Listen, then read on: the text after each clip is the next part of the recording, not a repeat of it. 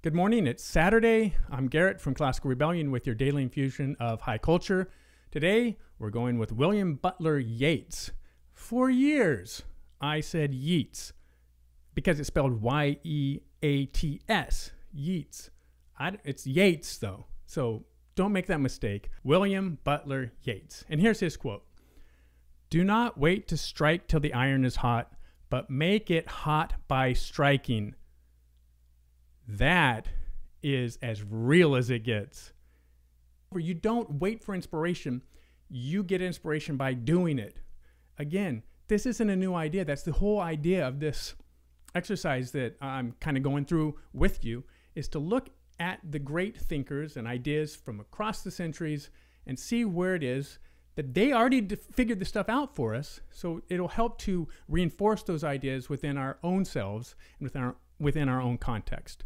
So our piece of music, Verdi's Anvil Chorus from Il Trovatore. You know it. You've heard it. It's been in commercials all over the place. Uh, clearly, right, the Anvil Chorus. And then a piece of art from that is currently in the Frick collection in New York is uh, The Forge by Goya. These gentlemen in this painting aren't necessarily uh, allowed to wait for the iron to be hot before they strike. They're if you look at it, I find it a very kind of a heartbreaking situation. And it's something that I think high culture can help us save us from. Because high culture is the true voices of the centuries that have come down to us, the true voices. And if we participate in high art, and if we participate like in that first, the first Oscar Wilde quote, in, in adjusting our gaze to the stars, it will help us to find our true voice.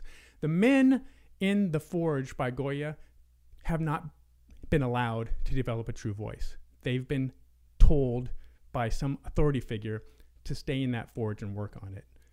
So I want to be grateful that I have the opportunity to strike the iron and make it hot instead of just being told what to do in this very oppressive situation. So we've got the quote from Yeats Do not wait to strike till the iron is hot, but make it hot by striking. We've got the Anvil Chorus from Verdi, and we've got the Forge by Goya. Have a great Saturday.